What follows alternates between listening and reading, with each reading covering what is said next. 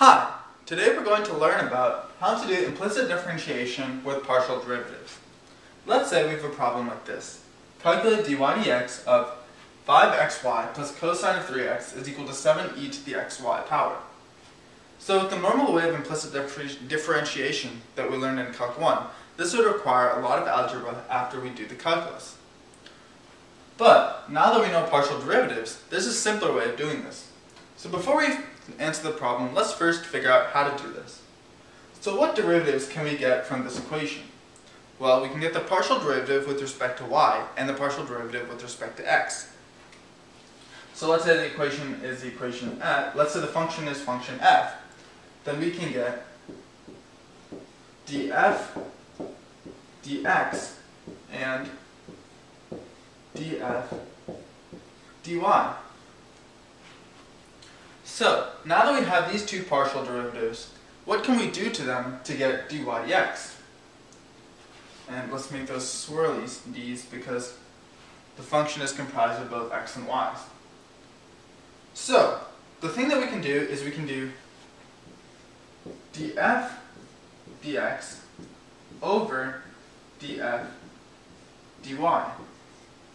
And so what this would give us is df dx times dy over df. These two would cancel out, which would give us dy dx. So, now we know how to solve this. This is going to be dy dx is going to be equal to f, the partial of f with respect to x, over the partial of f with respect to y. So now that we know this, let's do that in this problem. So the first thing that we have to do is we have to move everything over to one side because we don't want equation signs. We don't have this, we don't want these equal signs in our partial derivatives. So if we move it over to one side, we're going to get 5xy plus cosine of 3x minus 7e to the xy power equals 0.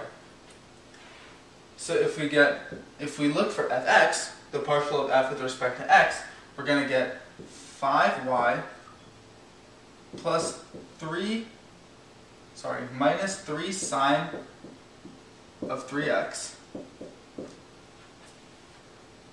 minus 7y times e to the xy power. So that's the derivative with respect to x. Now if we put this, now we have to put this over the derivative of f with respect to y, which should be 5x. Then here, there are no terms comprised of y in here, so there's no y in this term, which means it's plus 0, minus 7x times e to the y, xy power. So, this gives us dy dx.